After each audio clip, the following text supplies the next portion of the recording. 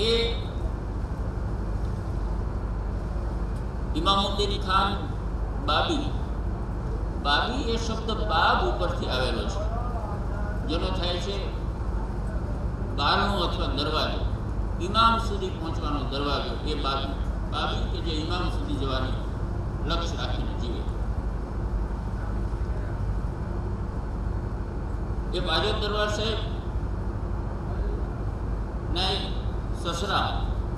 બે ત્રણ જે પત્નીઓ હતી, એમાંના એક પત્નીના પિતા.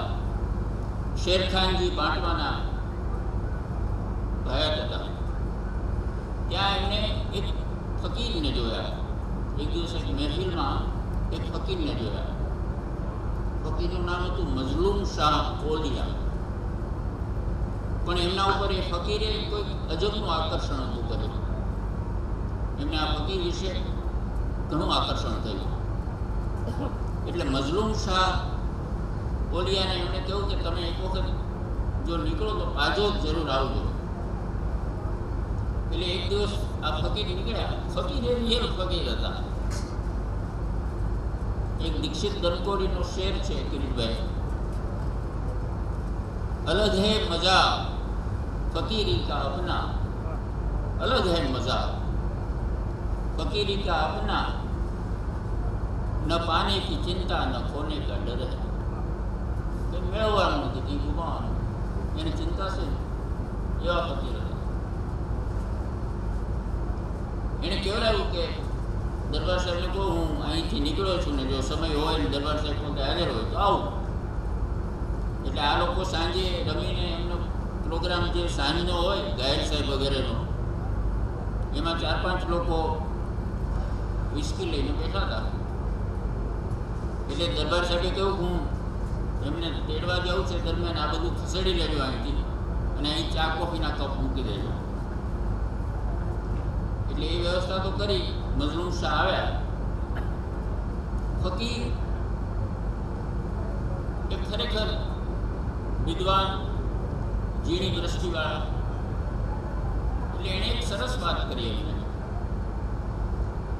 कि बेटे तुम जब पीते हो, तब अगर खुदा से नहीं डरते तो फकीर से क्यों डरते?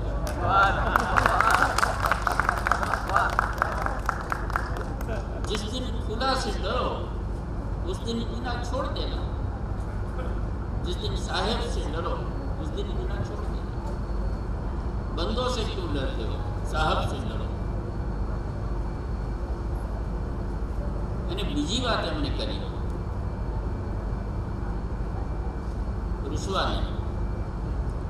કે તારો સ્વભાવ જોતા જીવનમાં અનેક ક્ષણો એવી આવશે કે જેને, જેની તકલીફો તું અનુભવી શકીશ, તને પિંચ કરશે. પણ જીવનમાં કોઈ દિવસ જો તને પહેરવાનું કપડું ન મળે, સુવાની જગ્યા ન મળે અને અડધો શેર અનાજ પેટ ભરવા ન મળે, તો મારી પાસે આવજો, હું ખુદાના દરબારમાં તારો વકીલ થઈને ઊભો આપ્યું એના ઉપરથી એમણે મજલુમી,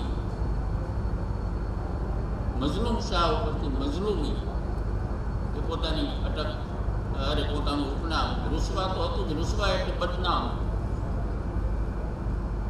અને મજલુમી એટલે નિર્દોષતા મજલુમ એટલે નિર્દોષ. એટલે રૂસવા મજલુમી ને નામે એમણે લખ્યું.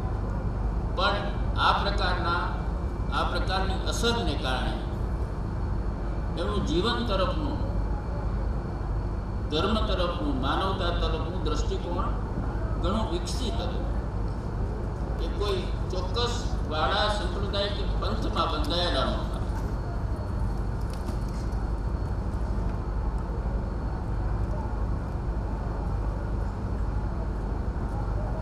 હસતા ઘાવ જીગરના ખુદ એનો પુરાવો છે. અમે તો ફૂલ માની છે સદા તલવારની વાતો. અમે તો ફૂલ માની છે. આજે આજે તાકાત મળી હશે એ આ પ્રકારના ઓલિયાઓના આશીર્વાદને કારણે મળી હશે. અબ આદમી કો ચાહીએ. ઉર્દુમાં પણ બહુ સરસ લખ્યું છે. ઇન્શા બના રહે.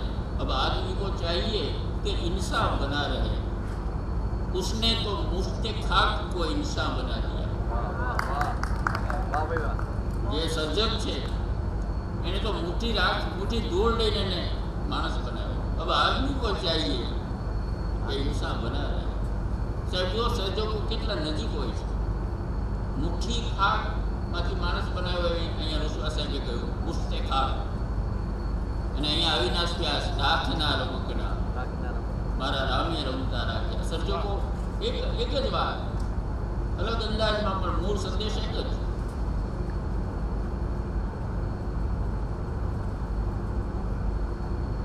ઓગણીસો પાંત્રીસમાં એમનો રાજ્યાભિષેક થયો અને ઓગણીસો ને સુડતાલીસ સુધી એમણે રાજ્ય કર્યું. એમના વિશે મારું વિશેષ આકર્ષણનું કારણ હું આપને જણાવી દઉં કે એક વહીવટદાર તરીકે એક શાસક તરીકે એમણે ઘણી બધી એવી બાબતો કરી કે જે દૂરની કહેવાય. તે સમયમાં કદાચ કોઈને એવો વિચાર પણ ના આવે. એમણે પોતે બેઠા શાસન સંભાળ્યું પછી એક રૂપક વેરો નખાતો હતો. એટલે લગ્ન રાજમાં કોઈ પણ ના હોય પણ ઢોલ વાગે એટલે કર પ્રજાએ ભરવાનો. કઈ લેવા દેવા કરી કઈ નહીં. પણ રાજમાં ઢોલ કોના? કન્યાને કેળ પણ જ વાગે એટલે ખર્ચો ક્યાંથી કાઢવો? તો ધ્રુવક વેરો. આ આપણો વેરો હતો એ ઓફિશિયલ કાઠિયાવાડના નાના ગામના ચોરાઓ પર કિરીટભાઈ બેઠા હતા દરબાર. અને તો ખેડૂતો થોડા નીકળ્યા એટલે દરબારે કહ્યું કે જાઓ, તમારો બધાનો દંડ કરવામાં આવે છે. પૈસા ભરી જજો કે પણ બાપુ, અમારો કઈ માર્ગ ગુનો? આ દંડ તો તમે કરો, આમ દઈશ પણ માર્ગ ગુનો તો કયો? કે કે વાંક ગુનો કરો તો જ દંડ કરીએ. તમે જ કોઈ વાંક ગુનો કરતા ને તમારે રાજ સી રીતે ચલાવો અમારે ચલાવો ને ભાઈ.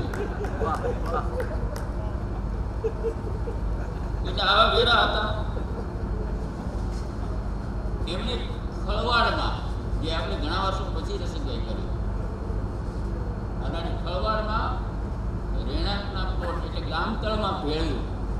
જે આજે ગામતળમાં ભેળવાના આ અહીં કેટલાક અધિકારીઓ બેઠા ખબર છે, આજે વિકટ પ્રશ્નો છે. એને ગામતળમાં ભેળવી અને જે એલિજિબલ હતા રહેવા માટેના પ્લોટ હતા. મેં કહ્યું એમ ડિસ્પેન્સરી શરૂ કરી. એક પ્રથા હતી આ બધા રાજ્યોમાં કે જે સૌથી વધારે નજરાણું આપી ગામનું મુખી. બોલો સાહેબ, આવી પ્રથા હતી. એમણે બંધ કરાવી. એમણે કહ્યું કે સૌથી વધારે નજરાણું આપે ડાયો હોય કે ડાયો ન પણ હોય, તો રાજને શું ઉપયોગી એટલે ભલે નિર્ધન હોય, પણ જેનામાં ડાપણ હોય જેનામાં સૂજ હોય, જેનામાં માનવતા હોય, એ જ હોય આપણો મુખી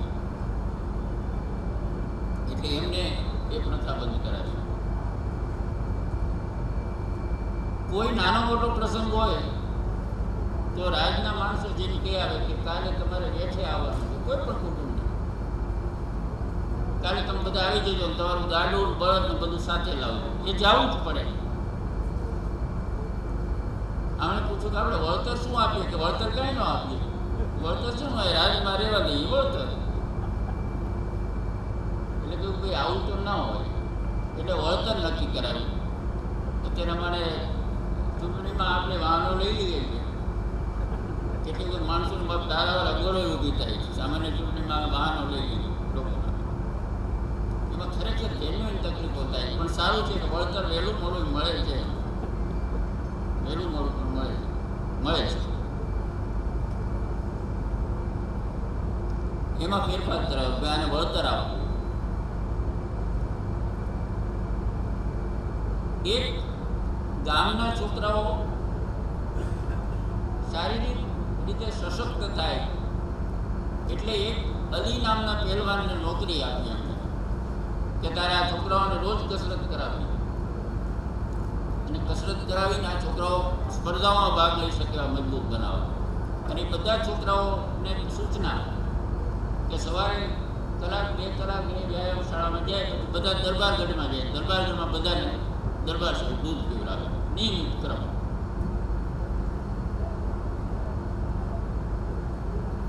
એની હું આપને વાત કરું તો એની એમની વિશાળ જે દ્રષ્ટિ હતી. ઓગણીસો સુડતાલીસ પછી દેશમાં જે કેટલી ઘટનાઓ બની. એને કારણે બાજોદ જેવા નાના ગામમાં નાની એવી કોઈ મસ્જિદ હશે લોકોએ તોડી ગામના લોકોને પારાવાર પશ્ચાતાપ થયો. કે આ પાંચ માણસોને કારણે આપણે દરબાર સાહેબને મોઢું શું બતાવ્યું? તમે જુઓ, સમાજને એની એક શરમ કરી એટલે એમાંના કેટલાક લોકો ગયા કે દરબાર સાહેબ જ્યારે એમના સસરા ત્યાં હતા, કે આપ કહો એ પ્રમાણે અમે આધુનિક બીજી મસ્જિદ અહીંયા બનાવી આવી અને અમને માફ કરો. એમણે કહ્યું કે થયું તે થયું, નહોતું થવું જોઈએ, પણ થયું છે તો હવે મસ્જિદ નથી બનાવવી. ત્યાં એક લાઇબ્રેરી બનાવો. કારણ કે લાઇબ્રેરી બનશે તો ભવિષ્યમાં છોકરાઓ ત્યાં રહીને ભણશે. ખુદા ખાતર. શેર લખે ખુદા ખાતર મને મસ્જિદમાં ખેંચી ન જાઓ જાહિર તે કે દેખાવ ખાતર ક્યાંય દેખાવું મને નથી ગમતું. દેખાવ ખાતર ક્યાંય દેખાવું મને નથી ગમતું. આ સંસ્કાર આ પ્રકારના એમણે સુધારા કર્યા બરાબર? ઓગણીસો સુડતાલીસમાં ત્રણ રાજ્યો, ત્રણ મહત્વના રાજ્યો, બીજા નાના મોટા રાજ્યોએ તો નાના મોટા પ્રશ્નો ઊભા કર્યા હશે, પણ ઇતિહાસમાં જેની ચર્ચા છે, એ હૈદરાબાદ, કાશ્મીર અને જુનાગઢ.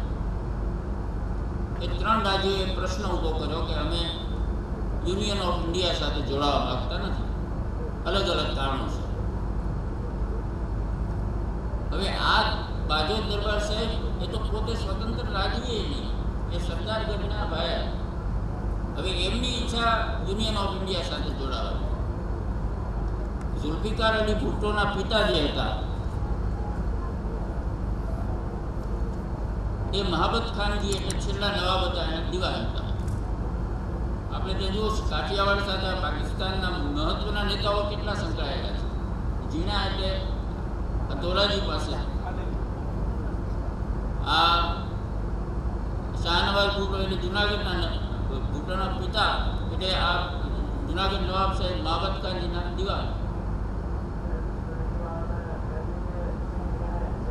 એટલે એમને બરાબર દરબારને કહ્યું ના ના આપણે પાકિસ્તાનમાં જોડાઈએ હું તો ભૌતિક લાલચો કેટલીક આપી હશે, એવું લાગે છે. ઇતિહાસકારો આમાં અલગ અલગ લખે છે, પણ આ કોમન છે કે કેટલીક લાલચો એમને આપવામાં આવે સમજાવવામાં આવે ભેગાવવામાં. આવે શાહનવાજ ભૂટોએ આમને પણ બોલાવીને કહ્યું કે તમારા બધા લોકો આની સાથે જોડાય છે એટલે તમારે જોડાવવું પડે. આ નીકળ્યા ત્યાંથી. નીકળીને બીજે દિવસે રાજકોટ ગયા. રિયાસતી ખાતાના એક સિનિયર અધિકારીને મૂક્યા હતા સરદાર પટેલે. નીલમ બુચ એમનું નામ. એ રાજકોટ સર્કિટ હાઉસમાં હતા. એમને જઈને મળ્યા. અને એમને લેખિતમાં આજો એ યુનિયન ઓફ ઇન્ડિયામાં જોડાય છે એવો કાગળ લખીને આપ્યો. હવે પ્રશ્ન એવો ઊભો થયો કે એ જેની સાથે જોડાયેલા હતા એ તો પાકિસ્તાનમાં જોડાવાનું એટલે સરદારગઢ એટલે આ વહીવટદારો પાસે કેટલીક આવડતો હોય છે, ખૂબીઓ હોય છે. વહીવટની આ બધી ખૂબી છે. એટલે એણે એના માણસને પૂછ્યું કે આને આપણે જોડી શકીએ? સાહેબ, આને કેવી રીતે જોડાય? આ તો રાજવી છે જ નહીં. આ રાજવી જે નીચેની કેટેગરી. રાજવીએ તો ઓલરેડી કહી દીધું છે કે અમે પાકિસ્તાન જોડું છો. તો કે રાજવી ક્યાં છે સરદારગઢના તો કે એ તો દેખાતા નથી. કે સારું, એને એબ્સકોન્ડર જાહેર કરી દો એને એક્સપોન્ડર એટલે ભાગેલું જાહેર કરો અને આને રાજવી બનાવી દો પછી આ યુનિયન ઓફ કાગળ લઈ લો આની પાસે.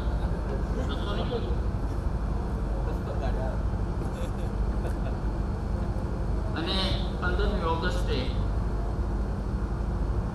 પંદરમી ઓગસ્ટ ઓગણીસો સુડતાલીસના દિવસે બાજોદમાં દરબાર સાહેબે પોતાના હસ્તે ત્રિરંગાનો લહેરાવી અને શાન અને બાંધથી યુનિયન ઓફ ઇન્ડિયા સાથે જોડાયા. એમના પુત્રાઈઓ કોઈ નહીં જોડાયા તો પણ. જોવાનો મતલબ એ છે. એ લોકો પછી છે નવેમ્બરમાં બધા પ્રશ્નો પૂરા થયા. ત્યાર પછી જુનાગઢ ગયો કોઈકે કહ્યું કે તમે તો બહુ વિચાર કર્યો હશે આ નિર્ણય લેતા? એનો જવાબ એમને આપ્યો. ના, કશ્મકશ કી બાત નહીં. કોઈ વિચાર નથી. કોઈ દુવિધા નથી. ના. कश्मकश की बात नहीं पक्का था इरादा पक्का था इरादा जिस सरजमी पे सांस ली दम भी वहीं तोड़ेंगे વાહ વાહ જે જમીનમાં શ્વાસ લીધા છે ત્યાં જ શ્વાસ મૂકવા છે આમાં કોઈ દ્વિધા મારા મનમાં નથી સાહેબ જમીન સાથેનો માણસનો સંબંધ માટી સાથેનો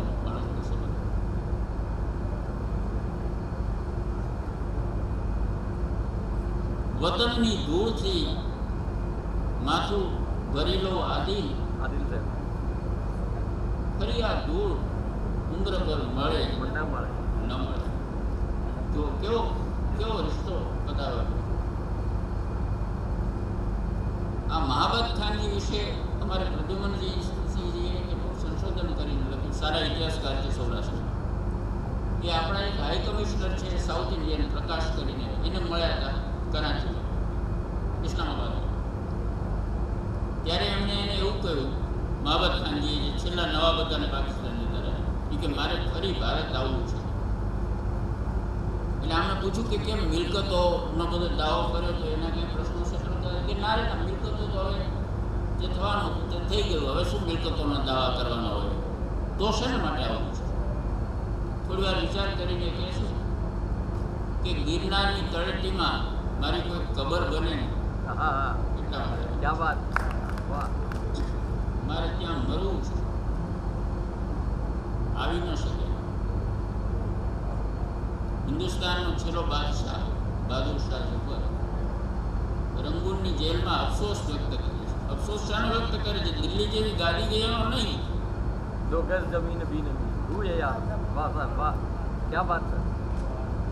है દિન જિંદગી કે ખત્મ હુએ લો શામ હો ગઈ હો ગઈ. એક ખોડીમાં બેસીને આ બહાદુર શાહ જફર કે જેને રાજા રાજી બનાવવા માટે તમામ રાજાઓએ દેશભરના રાજાઓએ પ્રયાસ કર્યો दिन जिंदगी के खत्म हुए लो शाम हो गई फैला के पांव सोएंगे कुंजे मजार में हाँ वाह वाह બસ મજારમાં જવાનો ટાઈમ થઈ ગયો અને પછી આપણે કહ્યું એ એ પંક્તિ યાદગાર પંક્તિ यार यार કિતના તું બદનસીબ मतलब સફર सफर अपने के लिए આ લાલ કિલ્લાનો માલિક લખે છે कितना तू बदनसीब जफर अपने के लिए दफन के लिए कब्र के लिए दो गज जमीन भी ना मिली हुए યાર વાહ, વાહ. જે જમીન પ્રત્યે લગાવ હતો જે પ્રિયજનની જમીન હતી જે પ્રિયજનનો મુલક હતો ત્યાં એક કબર કરવા માટે જમીન નથી. वाह वाह આ આ લગાવ અહીંયા પણ એ જ કહે છે ના કશું કશકી બાત નહીં પક્કા થા ઇરાદા जिस सरजमी पे सांस ली दम भी वहीं तोड़ेंगे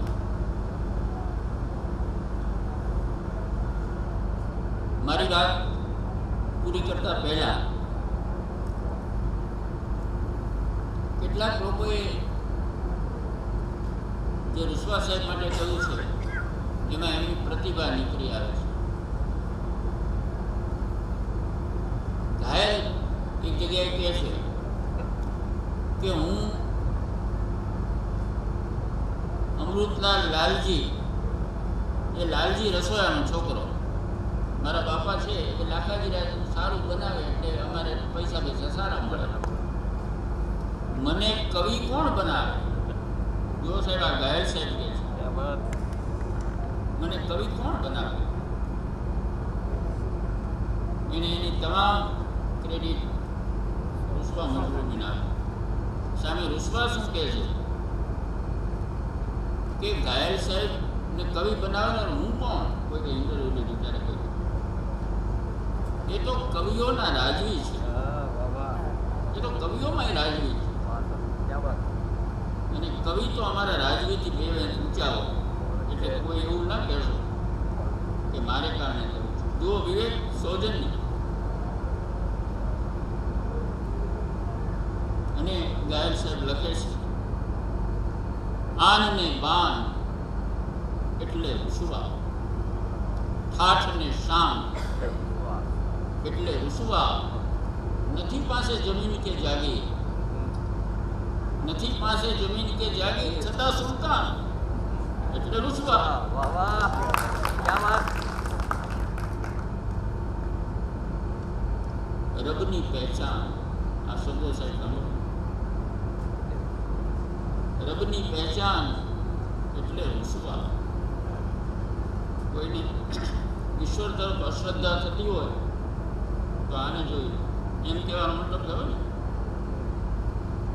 રબની પહેચાન એટલે રૂસવા અને છેલ્લે અદ્ભુત લખે છે. એક ઇન્સાન. એટલે વાહ વાહ એટલે મોરારી બાપુએ લખ્યું છે ઋષવા સાહેબની ગઝલો ત્યાં હીરાલક્ષ્મી ફાઉન્ડેશને પ્રકાશિત કર્યું એમાં. કે આ કવિએ, આ શાયરે સત્ય